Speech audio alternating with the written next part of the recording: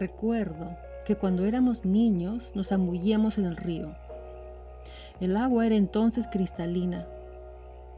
En la ribera veíamos saltar a muchas ranitas, mientras los peces nadaban a nuestro alrededor. Ahora ya no están. Hoy en día, el agua del río está contaminada. Es la huella de la minería durante décadas de explotación, de la mezcla de aguas residuales y de los agroquímicos. También el cambio climático es otra amenaza para las aguas de nuestros ríos. Los glaciares que los alimentan se derriten ante nuestros ojos por el calentamiento global. Cada vez hay menos agua en los ríos. El peligro es que en el futuro las reservas de agua desaparezcan. Esta preocupación ha aumentado los conflictos por el agua. Las industrias, las ciudades y la población local se enfrentan entre sí por las aguas limpias que escasean cada vez más.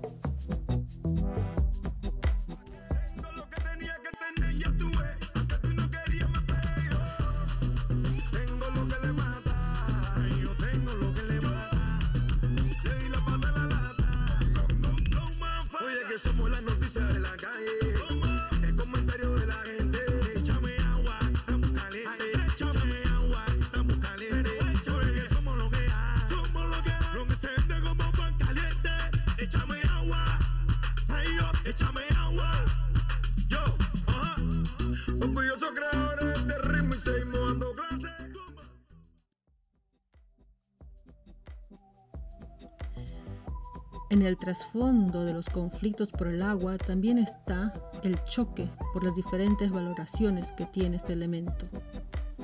El agua y toda la naturaleza tienen un significado cultural y simbólico importante para las comunidades andinas.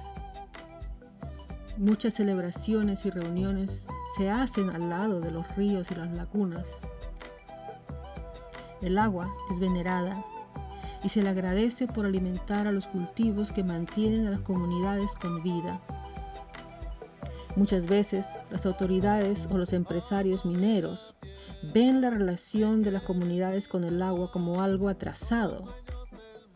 Pero para las poblaciones andinas, el agua significa vida y su valor no se puede medir con el oro.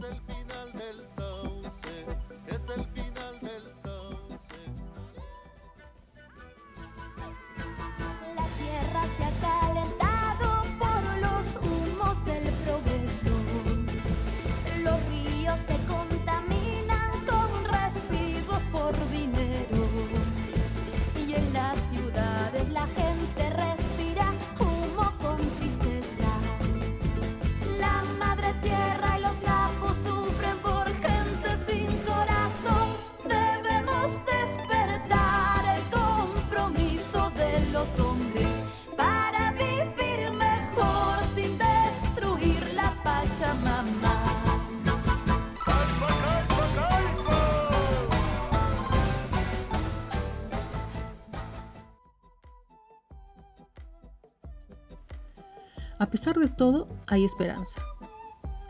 En los últimos años, se han realizado en Perú exitosas iniciativas por el manejo más sustentable del agua.